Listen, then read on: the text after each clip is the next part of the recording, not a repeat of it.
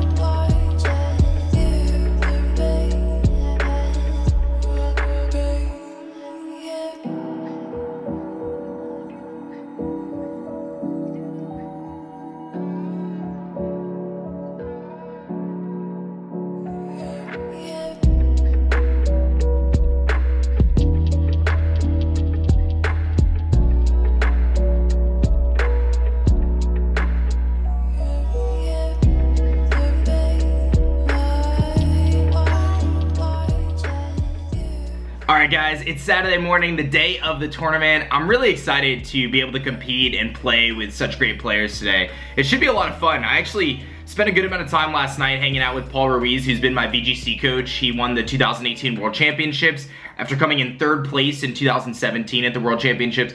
And it was really nice spending the night with him and just kind of talking Pokemon and just a bunch of other stuff. Um, but the way I'm approaching this is I have not really practiced over the last, you know, 24 or 48 hours because I don't want to like overdo it. You know, I have 10 rounds of VGC to play today. That is as many as 30 games um, of high intensity, high octane gameplay. But people have been asking me, A-Drive, do you feel pressure? Dan, do you feel pressure to do well? And like, I'll tell you guys in this vlog before the event starts, I, I feel no pressure at all. Like, I'm really excited to compete, and if I do awesome, then great. Like, I do really well. If I don't do well, then I don't do well. It's not the end of the world. Um, Pokemon is a game that has so many factors, and you really have to be focused and there's obviously RNG and matchups and so many things like that. But at the end of the day, I think if I trust what I know and like the team that I built, uh, then I think we'll do okay. So I'm actually gonna head downstairs right now. I'm gonna grab a team sheet. I'm gonna come back to the, the hotel room. I'm gonna fill it all out and then I'm gonna break down the team for you guys that I'm gonna be using today for the Dallas, Texas Regionals. Let's go. All right, guys, here's your first look at my team. I'll do a full team breakdown when I get back home uh, from Texas, but this is going to be the basic rundown of the team. It features a Life Orb Solar Power Charizard featuring Heat Wave Protect Solar Beam and Air Slash. I've got a physically offensive Mudsdale with the Lum Berry to protect against burns. Uh, I've got a Butterfree, which is kind of the bread and butter, pun intended, of this team with Compound Eyes, Focus Sash. It spreads Sleep Around, Rage Powder, Pollen Puff, and Protect. It is actually max HP, so it's a very bulky Butterfree, with the Focus Sash though. The Oranguru has the Mental Herb and Inner Focus, so it can't be flinched or taunted. It's featuring Trick Room, Instruct, Foul Play, and Protect. The main combination here is Butterfree and Oranguru, which almost guarantees Trick Room. And then you can see some really cool counter Pokemon. I've got Torkoal there, which brings the Sun for the Charizard, but also functions incredibly well with Oranguru and Instruct. Drought Torkoal, and then Heatwave Eruption, Solar Beam, and then Duraludon is an Assault Vest, very bulky set with Solar Beam, Draco Meteor, Thunderbolt, and Flash Cannon. So that is going to be our team that we're rocking. I feel really confident about this team. I've been working on it for a few weeks now. And it's funny, there was a team that was very similar that did really well in Wolf's Invitational, but uh, I did build this kind of on my own a few weeks prior, and this is the team that I ultimately brought to the PC and did really well too. So hopefully my sleep powders all hit and uh, you know, Oranguru is able to put in some work with Trick Room. All right, you can see there's hundreds of people behind me, and we are just moments away from the tournament starting. Uh, we're all logged in, we're all battle box secured, everything like that, and it's been uh, pretty wild, man, seeing so many people here. We've got about 550 plus competitors for the video game championships in the Masters Division today, so there's gonna be some tough competition. I ran into Wolfe Glick earlier, Aaron Cybertron, my coach Paul's here, who's a world champion himself. Some of the best players in the world are at this event, so competition's gonna be pretty tough, man, but I feel really good and I'm excited to jump into some games and hopefully learn a little bit and, and, and make some new friends and meet some A-Drive Army members. So I'll see you guys for round one.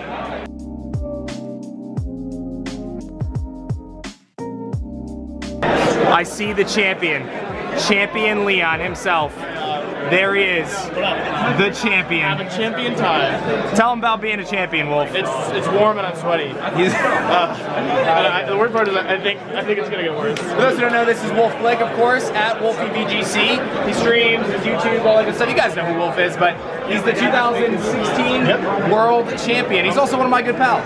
Oh yeah. All right, guys. So I just finished up my game one against Dylan here, who's who's over there and he played incredibly, man. I tell you guys, that was one of the closest games of competitive Pokemon I think I've ever played. In both Game 1, Game 2, and Game 3, there was a crucial para that happened on my Pokemon, and it made it so, so close. He played so good.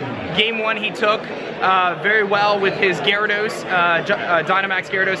Game 2 I was able to actually win by timer, believe it or not. I had to stall out his Jellicent, and then Game 3 came down to the wire, but luckily the two paras, uh, one on my Trick Room and one on, uh, on a crucial Thunderbolt play uh, did not come back to bite me, but he played incredibly well, so congrats to him, and I hope he does well throughout the tournament. I start off the day 1-0, but man, was it the most stressful 1-0 I think I've ever had. Guess who's on stream for round two? This guy. Wish me luck, team. Whatever it wants. I think once you get rid of something like that Rotom, mm -hmm. you're going to be feeling pretty good about yourself, and that's very doable now. Yeah, absolutely. Uh, Rotom keeping it safe, going to protect uh, right away. Doesn't want to get hit with any big attacks immediately.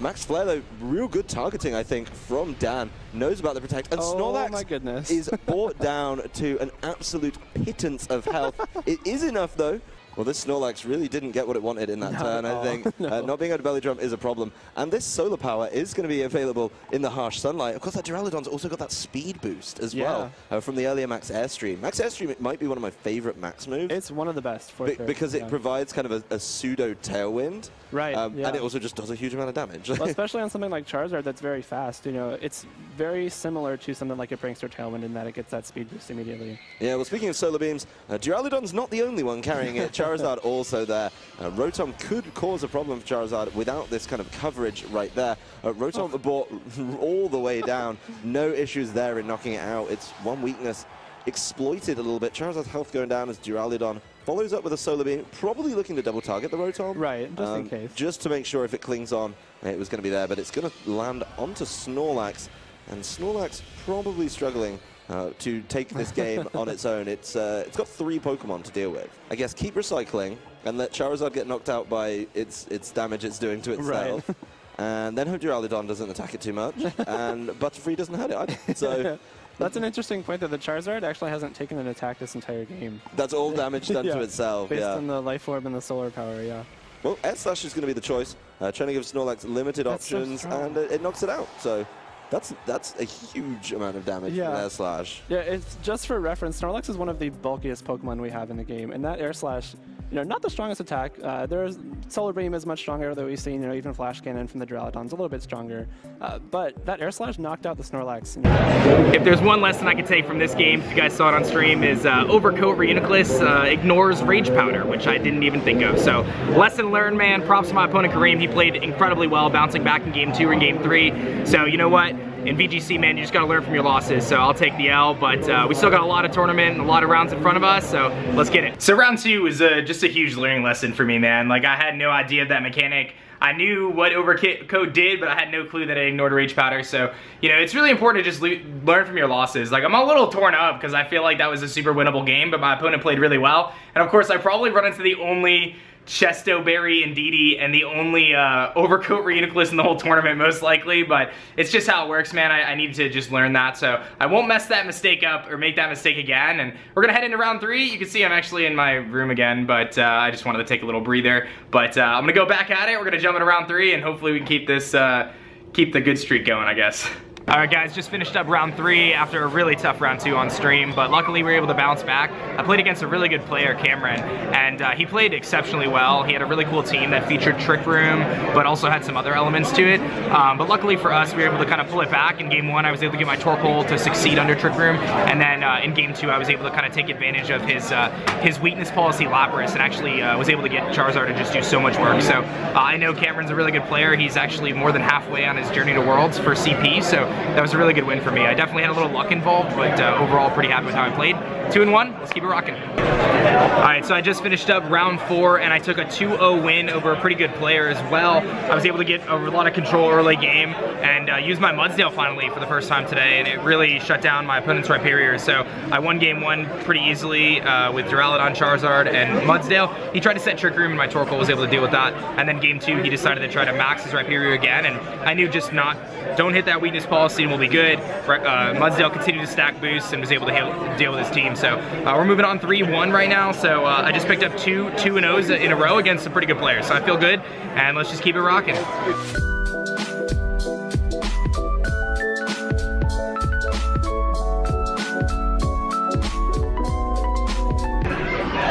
So I just finished up round five and unfortunately took a pretty rough loss. Uh, game one I played incredibly well, was able to move, maneuver my pieces around and really get Charizard to do a lot of work. And then game two, uh, I got kind of ran over by Braviary. And then game three, I thought I was gonna have it, but he nailed a Protect kind of at the end of the game to save his Rotom, which was able to uh, beat down my Mudsdale on the following turn and give him the game. So uh, overall played pretty well. Um, I'm a little annoyed because I, game three, I stuck with my gut and I tried to beat him with Trick Room, but I didn't use use Butterfree with the Oranguru, and he was he just one shot the uh, or two shot the uh, Oranguru on turn one, which put me in a really kind of bad spot, and I pulled it back, but it just didn't work out. So uh, three wins, two losses so far. Uh, the team's playing well. I feel good. Like the games that I've lost, I definitely feel like I could have won if I played a little bit better. Um, but we still have a long ways to go. That's actually halfway through the tournament, and there's so much left to do. So uh, we're gonna keep playing and, and hopefully pick up some more wins because three and two is not where I want to be right now. I also wanted to mention with that last game that I played, the guy had told me that he has played in over 40 regionals. 40 regionals, man. I'm on my third, and I, I, didn't really take the first two very seriously, so that's pretty crazy. Uh, you know, I, I feel one of the reasons I came to this event was to see how I would match up against good players, and I've definitely played some really good players today. It feels like every player is, is like super experienced and very well polished here, so uh, tough one, man. That was a tough one, but uh, what are you gonna do? My man's got 40 regionals under his belt. All right, just finished up my uh, game six, picked up a nice W. It was a pretty close game, but uh, ultimately was able to lock it in. Um, I was able to, good? Thank you so much. Um, I was able to make Duraludon work pretty well against uh, Gyarados Raichu team, and I think that's really just uh, like all about comfort with your team. Like I know anytime I see a Gyarados, I really am gonna have to get that Max Lightning off on it, and I was able to do that. Right before the tournament, I was like, man, should I run Thunder? And I chose not to, but it didn't bite me in the tail. We were able to make it work. Raichu Gyarados is such a threatening core right now, but uh, I took the W, so we're nice in four and two, so we'll keep it rocking. All right, so I just finished up round seven, and I'm very proud to say that I'm five wins and two losses so far. That was a crazy set. I lost game one, absolutely got blown back, actually just forfeited because it was so bad. Darmanitan is so scary for my team, and I don't think I realized it until that round. Game two, I had to get a little smarter and make sure that I could use my Duraludon to beat it. I got some clutch defense boosts on my Duraludon, and that was able to allow me to live a few hits, but his imprisoned Chandelure put me in a really bad spot. Game three, I went, we're going Trick Room. I brought Trick Room in the back. I knew Torkoal could beat his team, and we were able to come up with a W there with Eruption and Struct. What a beautiful game, man. Sitting at 5 and 2 and feeling really good. So this has been a crazy day. We got three rounds left. It's time to clutch up, A-Drive Army. All right, guys, I just finished up. Hold on, let me get this to focus. I just finished up in round eight, and I picked up a W against my man Benji. What's crazy is I actually played Benji last weekend in a tournament. I beat him in, in the first round, and then in top eight, he beat me in top four. So this was our rubber match, as they say in baseball, the best two out of three, and I was able to beat him 2-0. So I felt so good. Both games he had to forfeit because uh, I just had a lot of control with Charizard. I felt good. But I wanted to show you guys, this is my man Tony, or Saiyan. You guys may know him from our Twitch chat. It's been a long time A-Drive Army member. I thought I'd show him off, and this is my plug right now. Saying, tell him about accessibility right now. Hey guys, chance. I'm Stan4414 or Tony. I am a legally blind Pokemon streamer. I do try my best to stream as much as I can. Um, accessibility is something that is very important to me um, because one of the things is, for me, I play on my 3DS, I can stream as much as I can, but I do everything by sound. I'm unable to see the screen or read the screen or anything like that. Unfortunately for me, and for a lot of people like me, we're unable to do stuff like, for me, I would love to compete in VGC. Yeah, but so I can't due to the fact that a lot of the screen isn't red. Yeah, there's no there's no uh, text to speech either, right? So that's like a big Yes. thing, right? So other consoles, Xbox, PlayStation, they offer text to speech, but Nintendo does not do that for the Nintendo Switch. So my man saying here and myself are advocating for Nintendo to step it up a little bit and get that uh, blind accessibility opportunity there. And you guys should check out my man saying he's been streaming shiny hunting. He gets a lot of shinies, and uh, he's a cool dude. So thank you, my man. It's always nice to see you, Tony. Yeah, And we're gonna we're gonna move on to round nine, guys. We're feeling really good, so hopefully we can keep it rocking. All right, guys, just finished up round nine, and unfortunately took a rough loss, man. I played against a guy who, uh, honestly, had a very unconventional team featuring Serena and Braviary, um, Dracovish, Life Orb Dracovish, and uh, game one I could have actually won. I actually feel like I had a pretty good shot. There was one turn though I, I, I needed to predict to protect, and I didn't, uh, but I should have known because I, I ran a Life Orb Dracovish myself, so I know that they run protect. Uh, so that was just a, a misplay, but um, I think in another dimension I make a, a good read there. And then game two, what really annoyed me is I knew his Braviary was scarfed because he Dynamaxed game one before my Charizard Dynamaxed. So I knew that Braviary had to have Scarf Tailwind. It just made so much sense. And I'm stupidly, he leads Dracovish, Braviary, Tailwinds, and one-shots my Charizard with Fishious Rend. But I thought maybe I would live it. I'm like, oh, I got Sun Up, maybe I'll live it. I can knock out the Dracovish. If I knock out the Dracovish, I think I can win the game with Trick Room. And it didn't work out. So I'm currently six and three. Uh, this next game is big. If I win this next game, there's a chance that we top cut. If I lose this next game, then I might not even get CP. I think we have a really good resistance. Resistance is basically when, um, you know, the people that you played against, how they did. I feel like the people I played against have done very well. Actually, everyone I played against has done positive. So the resistance is in our favor. Fingers across, baby. Let's do it. One more round. All right, guys, just finished up round 10, and I am incredibly salty, dude. I'm not even gonna lie. Uh, obviously, I lost. Uh, game one, I really felt in control, was able to win it out with Trick Room Torkoal. Uh, game two, he made the craziest play. He had a 1 HP Excadrill, and I predicted him to switch into Rotom to take the, the Max Flare. And so I went for the, the Max Overgrowth. And he went into Ferrothorn. And I was just mind blown. So he switched out his Excadrill into a Ferrothorn. And it cost me the game because I tried to make a prediction. I don't know who switches into a Ferrothorn when there's a Charizard on the field. And then game three, turn one, Dragapult crits my Duraludon, which is Assault Vest. And I just couldn't climb back after that. I needed the damage off on Duraludon, or on Dragapult. I went for the Draco Meteor into Dragapult. But uh, my Duraludon died before I could even attack. If I had gotten that Draco Meteor off, I would have probably won the game because I had Trick Room in the back and I was I felt really confident that I can get Trick Room up. But uh, an unfortunate uh, end of the tournament, man. I, I finished six and four. I had really good resistance. I am just keeping my fingers crossed that I get top 128. Top 128 awards me championship points, which allows me to continue to qualify for Worlds, and that's really what I want right now. because that's the motivation I need personally to keep going. So I'll update you guys in a little bit once I find out the standings and fingers crossed. All good things must come to an end and this is the end of our Dallas, Texas regional vlog. Good news, I got CP. 40 CP, we are currently 52 out of 400 now and doing well on our road to Worlds. Uh, I ended up finishing like, I think 100 and something, but one more win would have put me potentially in the top cut. We had really good resistance, so I ended up playing against a lot of really good players throughout the day.